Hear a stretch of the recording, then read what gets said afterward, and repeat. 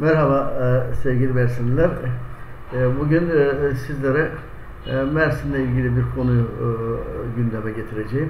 Bildiğiniz gibi e, başta Mersin Büyükşehir Belediyesi olmak üzere e, Mersin'deki demokratik örgütleri e, e, yapı- yaşanan e, deprem felaketinden e, büyük şekilde etkilenen e, Mersin'in de e, deprem özel statü talebi, talebi vardı. E, ve bu e, özel statü içerisinde kapsamına alınmasını is- istiyorlardı. E, ne yazık ki e, iktidar e, bu e, istek ve talepleri e, göz ardı etti. Çünkü e, dün daha yeni bir e, e, iktidar kanadından gelen açık havada e, deprem felaketinden etkilenen e, 6 ilin daha bu kapsama alındığı duyuruldu. Ama ne yazık ki Mersin e, yok. Bazı yıkımların olduğu Kayseri'de e, önce e, afet bölgesi e, kapsam içerisinde alınacağı duyurulmuştu. E, tabii e, bizim Mersin'de e, depremden e, fiziki olarak da etkilendi. Nasıl mı etkilendi? E, Birçok Mersin'de e, e, binalar e, temelden sarsıldı. İnsanlar dışarılarda yattı. E, hatta e, Tece'de e, bir e, 12-13 katlı bir bina efendim e, depremde yan yattı ve bura boşaltıp dün de yıkımı gerçekleştirildi. Yani daha Mersin e, fizik olarak nasıl etkilenmeli? E, tabii e, Mersin e, bu tür afet bölgesi kapsamına alınmaması e, yatırımlar da aksatacak.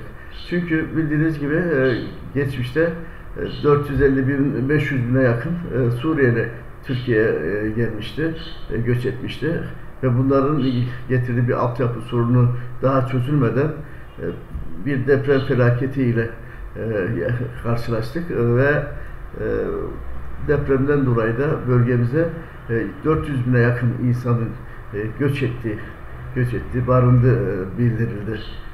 Bu resmi kaynakların da kayıtlarına girdi. Durum böyle olunca tabii Mersin'deki belediyelerin özellikle başta Büyükşehir Belediyesi'nin altyapı sorunlarının e, çözmesi e, mümkün değil. E, elindeki bütçe e, ancak kendi nüfusuna yeten bir bütçeydi. E, 401 milyon nüfusumuz vardı. E, 400 bin Suriyeli geldi. 500 bin Suriyeli geldi. E, arkasına da 400 bin depremzede ne oldu? Nüfusumuz ister istemez birden e, kent merkezinde 2 milyona ulaştı. E, 2 milyon e, ulaşması e, sorunlar da e, beraberinde getirdi. Niye diyecekseniz hepimiz şöyle bir çevrenize bakın. Arabanıza bindiğiniz zaman gıdım gıdım ilerliyorsunuz artık kentin e, bütün sokaklarında, caddelerinde. Bu ne? Aldığınız göçten dolayı. Tabi Mersin'in daha geniş yollara, daha güzel, büyük yollara ihtiyacı var. E, efendim başka altyapı çalışmalarına ihtiyacı var. Biz bu şekilde gidersek Mersin e, bir sene içerisinde tıkanan bir kent olacak hem yaşam e, yönünden hem de e, trafik yönünden tıkanan bir e, şey, kent olacak.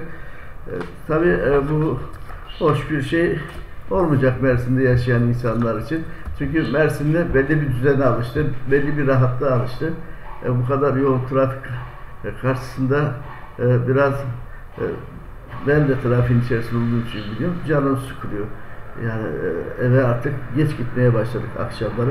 Sabah gelirken de aynı keza iş yerlerimize e, çok zor durumda geliyoruz. Peki yani e, iktidar bu son aldığı kararla e, 11 ilin dışında e, Sivas'ı, Gürün ilçesinin dışında e, Bingöl, Kayseri, Mardin, Tunceli, Niğde ve Batman illerini de afet bölgesi ilan etti. Mersin suçu ne arkadaşlar?